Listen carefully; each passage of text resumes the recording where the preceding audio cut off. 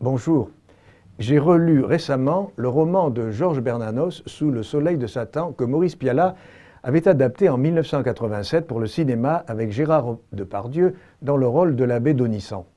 Le fait que ce film obtienne à Cannes la Palme d'Or suscita la polémique.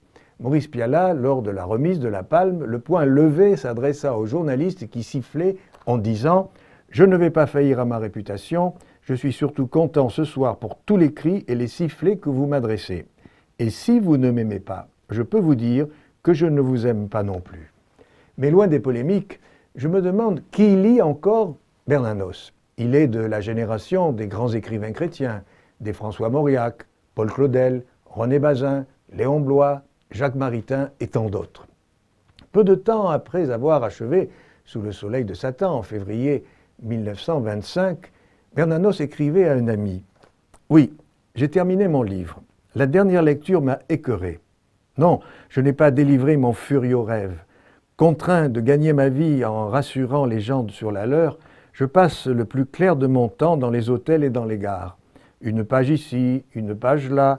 Quand on arrache ainsi un livre, ligne par ligne, on peut compter qu'il est sincère. Les loisirs ont manqué de se composer devant le miroir. C'est sans doute à cause de cette sincérité que le souffle de la passion traverse sous le soleil de Satan, passion de Bernanos pour sa foi en Dieu. Dans ce roman, nous découvrons un prêtre bouleversé par la présence du mal et l'existence de Satan. Tant et si bien qu'un jour sa foi en Satan prendra le pas sur sa foi en Dieu. Le face-à-face avec Satan le préoccupe davantage que le tête-à-tête -tête et le dialogue avec Dieu dans la prière. D'ailleurs, Dieu ne trouve pas vraiment sa place dans la vie de l'abbé Donissan, qui pense pouvoir mener un combat contre le mal tout seul, sans l'aide de Dieu.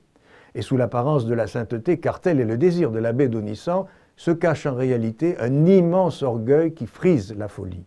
Tout lui est possible, croit-il. N'ira-t-il pas jusqu'à tenter de ressusciter un enfant?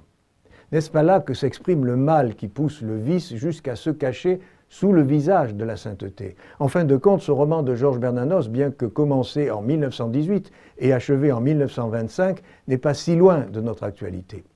Ce roman est à l'image du combat que se livrent le bien et le mal en chacun de nous et entre nous, même si par bonheur cela ne prend pas toujours des allures de drame comme dans la vie de l'abbé Donissan. Alors, si vous n'avez pas encore fait le choix de vos lectures pour l'été, je vous conseille de lire Sous le soleil de Satan. À bientôt et bonnes vacances si vous pouvez en prendre.